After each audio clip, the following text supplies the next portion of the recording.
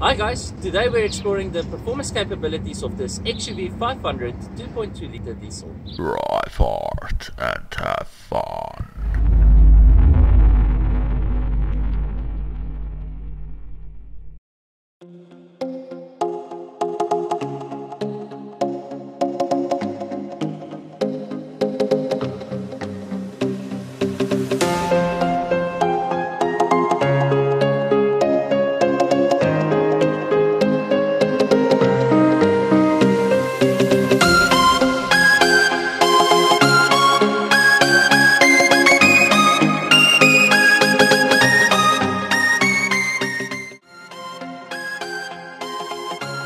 Let's talk about some pros and cons. Let's start with the cons. The first one that I can think of is the Bridgestone tires. Although they are brilliant, they like to scream. So even under hard acceleration or just moderate braking, you'll get the squeal from the tires. Doesn't make them bad as we still managed to get the 3.700 kph to zero, which is absolutely brilliant for a 7-seater SUV. And then we get to the gearbox. It's an old school box, really smooth but slow. But a good thing about them though, they will keep you in the power band as they will not over rev, which is a good thing for the diesel engine. The pros of this car is that it's a very big 7 seater, but it is very comfortable and very easy to drive. This will eat up the kilometers on a long distance cruise. It is surprisingly brisk under acceleration too as we tested the 0 to 100 kph in only 12.4 seconds.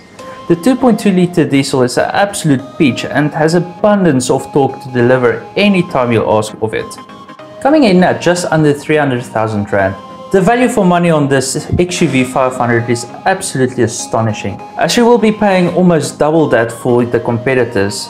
It is absolutely a marvelous car and definitely something to consider when looking at your next SUV.